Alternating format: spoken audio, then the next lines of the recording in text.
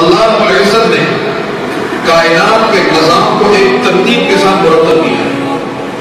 हर चीज़ में मेरे रब ने एक तरतीब रखी है। आप पहाड़ों को देखेंगे एक तरतीब है, जंगलात को देखेंगे एक तरतीब है, आप ज़मीन को देखेंगे तरतीब है, आप दरियाओं, समुद्रों को देखेंगे एक तरतीब है।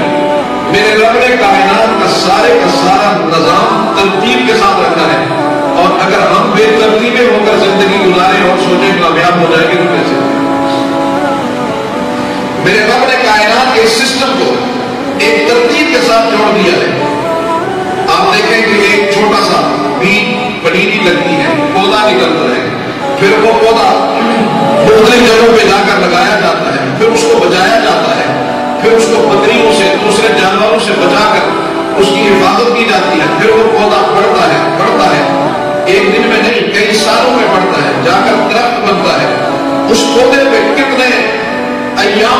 उस पर शदीद तरीन सर्दी गुजरी उस पर तहकती हुई, दोपहर गुजरी, गर्मी गुजरी उस पर आई उस पर बहार आई।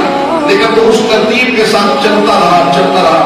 न जाने कितनी खजाएँ, न जाने कितनी बहारें। जब उस पौधे ने अपने ऊपर बर्दाश्त की तो तब मेरे रब ने उसको फल लगा दिया। तब मेरे रब ने उसको फल लगा दिया। हम ये समझते हैं कि हमारी ज़िंदगी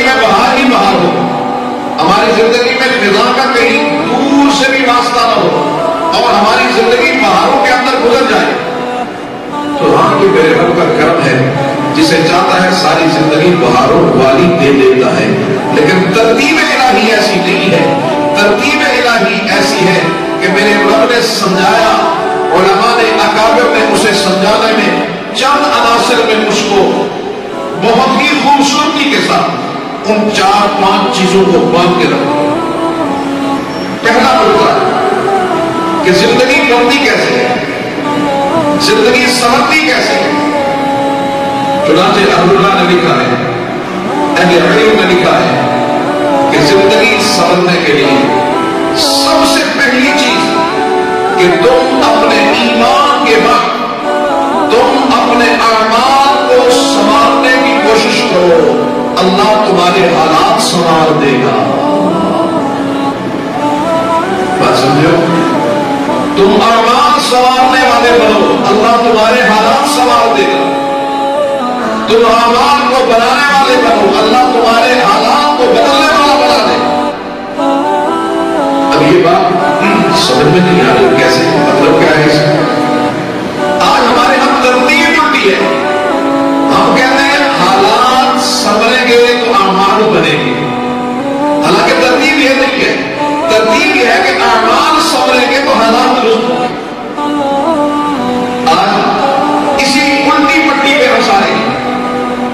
जनाब आप नमाज़ नहीं पढ़ते हज़रत हालात नहीं आते कि नमाज़ उसी नहीं चाहिए फुर्सत ही नहीं है।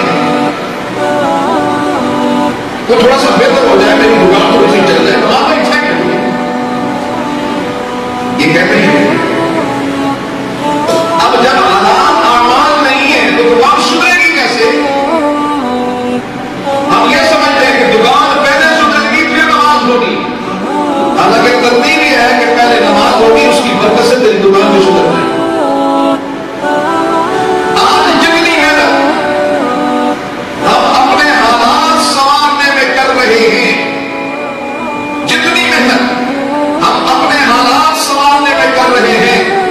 निसब भी अपने आमान संभालने में नहीं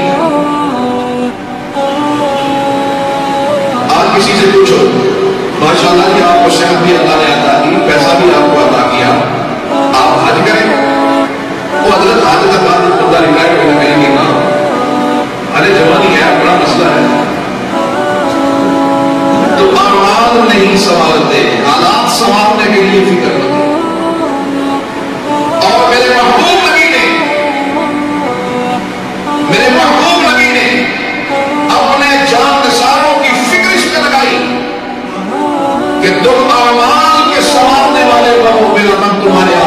संभाल के रख देगा